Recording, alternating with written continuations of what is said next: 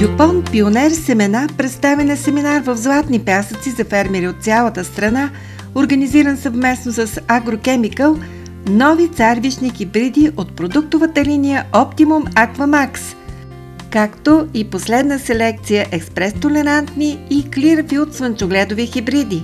Новата генетика на Пионер ви дава още по-добри възможности за сигурни и високи добиви, независимо от капризите на времето – на този семинар ние представихме нашите нови царевични и слънчогледови хибриди, като акцента разбира се падна върху Optimum Aqua Max продуктовата линия, където имаме няколко нови хибрида в основните групи по ранозрялост и при слънчогледа експрес толерантни слънчогледови хибриди, Clearfield хибриди, слънчоглед и двете продуктови линии, протектор мана, протектор синя китка.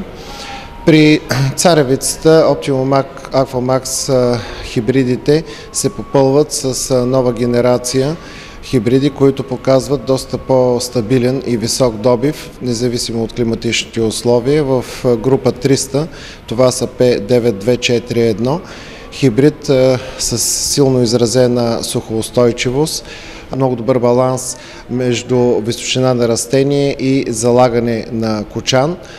Също така при достигане на физиологична зрялост този хибрид има отворени обвивни листа, наведен надолу кочан и изпуска изключително бързо влагата от зърното, процент и 2% и половина на ден при температура около 25 градуса на въздуха.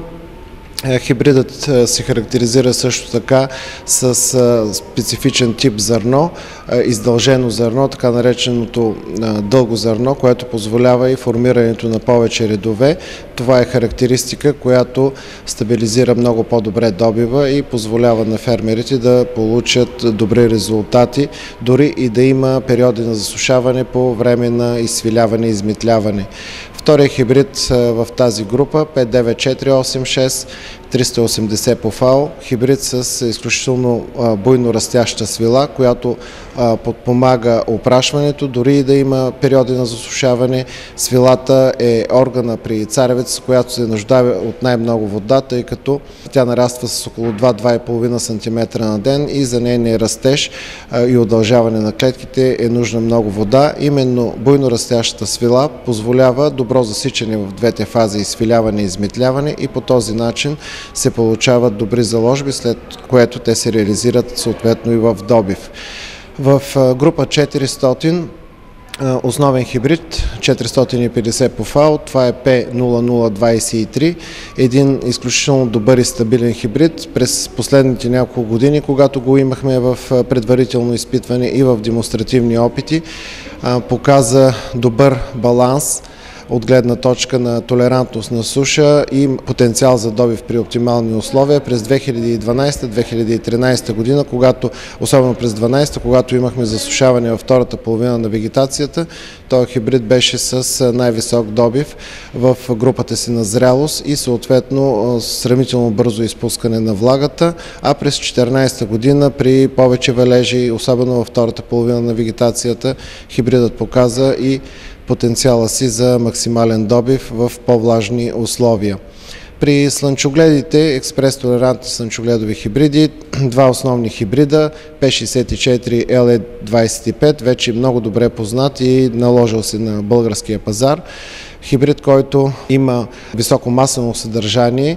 През изминалата година не бяха малко случаите, в които имахме масово съдържание 48-52% при този хибрид и съответно на високи нива за добив. Втория хибрид, който те първа набира сила и популярност е P64 LE99, среднокъсен хибрид с изразен стейгрин ефект, устойчив на всички раси мана и всички раси синя китка и хибрид с максимален потенциал за добив именно при условията на 2014 година, когато имаше достатъчно валежи, за да може да реализира и потенциала си за добив.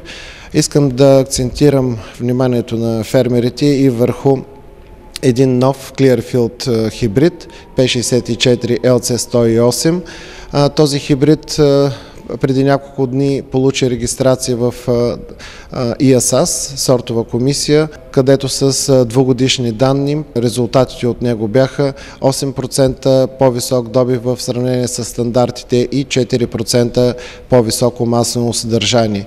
Няколко характерни особености за LC108. На първо място хибридът не се влияе от ползването на хербицида, няма негативен ефект върху масленото съдържание и добива. Той много добре толерира и метаболизира хербицида и по никакъв начин това не се отразява на неговия потенциал за добив. Друга характерна особеност при LC108 е генетичната устойчивост на синя китка, която а, позволява добър контрол на паразита, дори в случаите, когато няма нужда от внасене на хербицид.